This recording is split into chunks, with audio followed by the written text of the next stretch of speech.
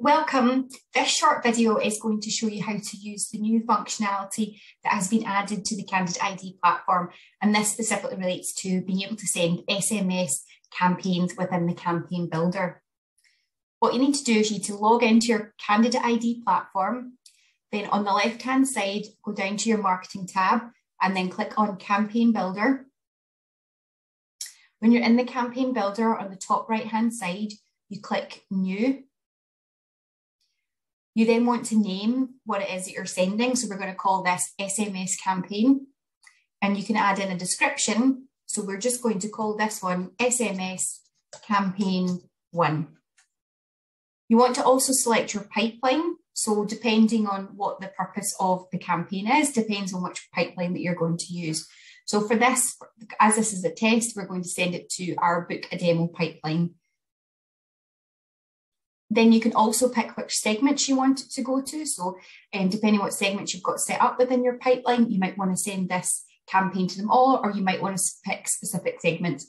But for this uh, campaign, we're going to send it to all segments. So I click the box yes.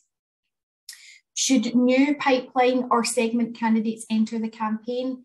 Um, for this example, we're going to click yes. So that means that anytime anyone is added to this pipeline and that specific segment that you might have picked, they will then start to receive this campaign. So we're going to click yes. Obviously, when you want to make it live, you then switch that toggle, but because this is a test, we're going to keep it um, in test mode. Select your end date of when you want the campaign to end. So for this example, we're going to say that we want the campaign to finish on the 31st of October. You then can select the days that you want the campaign to go out. So, for example, if somebody's added to the pipeline on a Sunday, they would then receive the campaign on a Monday. If you only wanted to go out once a week, you would select that specific date.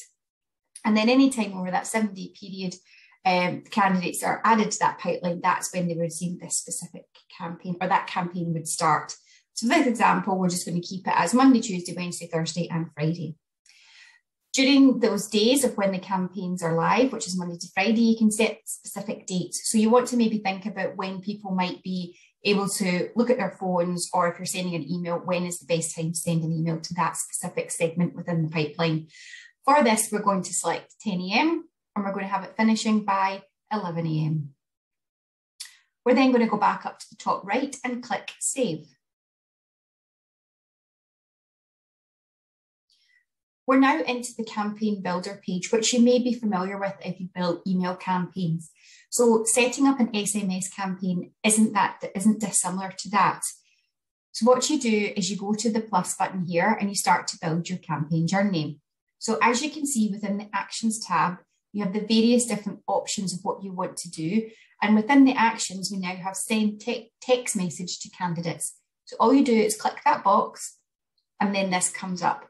So you want to name your text message. So for this, because it's a test, we're just going to call it te test one.